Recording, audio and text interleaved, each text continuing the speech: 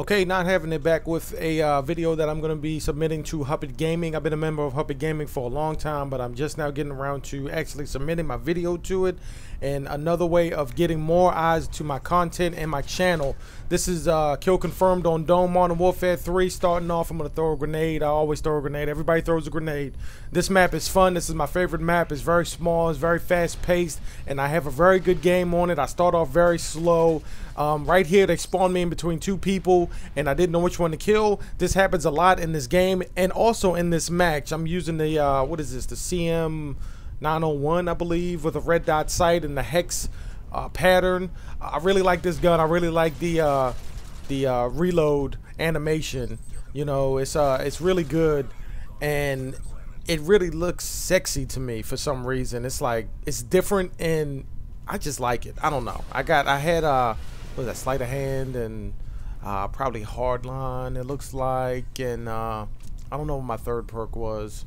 But anyway coming up out of the cave I like I think I'm gonna stay in the cave a lot more when I go in this map because it's uh you can do so much more from in that cave um, but at the same time when you try to come out of the cave you're at a, a, bit of a disadvantage because everybody likes to throw grenades into the cave I like to throw grenades into the cave so th- be mindful of that when you're coming out of that that uh, that cave, that bunker type situation. And um, also right there where the tank is and the Humvees and everything, that is really like a kill zone right there. Intersection. That intersection is really where a lot of the action happens.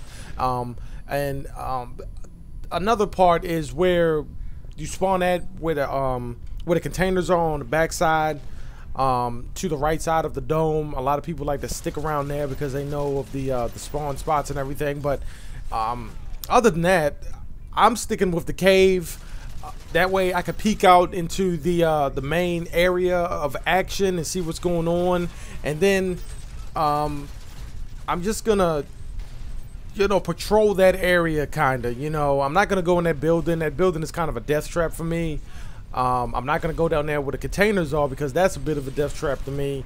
Um, the actual dome itself, that building is iffy. Sometimes it's really jam packed and there's always somebody there, and sometimes it's not. See, right there, I got spawned in between two people. Didn't know which one to go to, so I end up getting killed.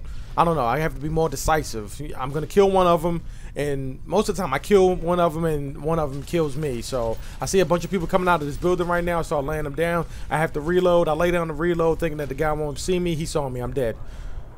I respawn. I'm back at it. I die. I respawn. I'm back at it. Uh, I get caught in front of somebody. Uh, they get killed. Somebody else comes, and I die. This game is very notorious for putting me in positions where I, I respawn and it seems like I'm respawning in front of an enemy that's already shooting.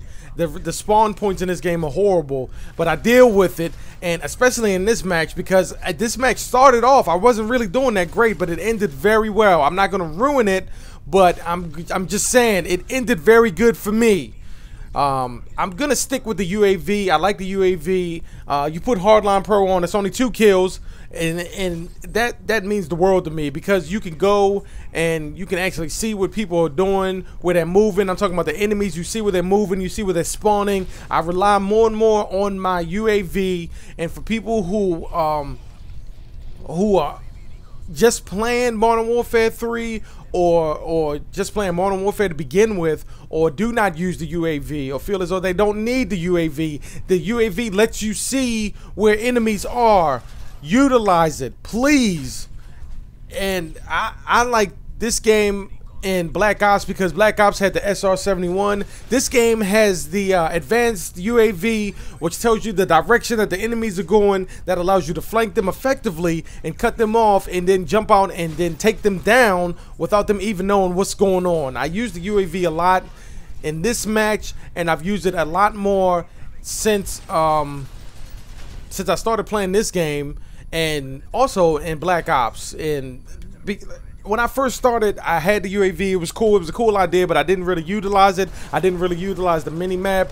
And in order to be successful in this game, unless you are um, some sort of prodigy in video gaming, you have to use the tools that they give you. The radar. They give you a radar. They give you a UAV. Utilize it. You see me doing it here, and it allows me to get attack helicopters. I'm using the 3, 5, and 7 kill streaks, the uh, UAV, Predator missile, and attack helicopter. Those are the ones I feel comfortable with. I don't like using the higher kill streaks because I'm not that skilled yet, and I, am not to really be able to get up there to those kill streaks. I have used the Reaper before.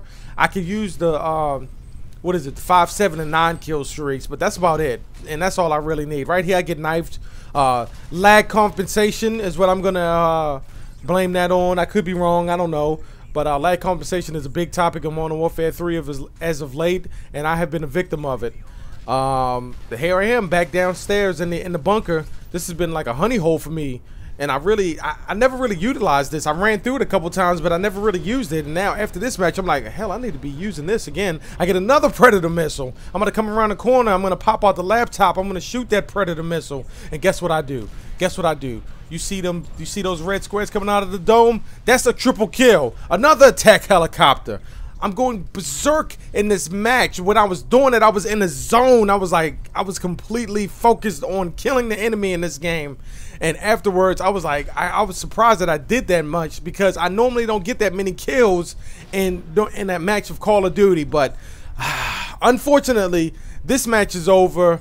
Um, I ended up going uh, 31 and I think 16. Uh, let's see. Uh, am I to pull it up? I don't know. Like, comment, subscribe. There it is. Yeah, 31 and 16. Like, comment, subscribe. Spread the word. I'm not having it. This has been Modern Warfare 3 Hupit Gaming. This video is coming to you exclusively.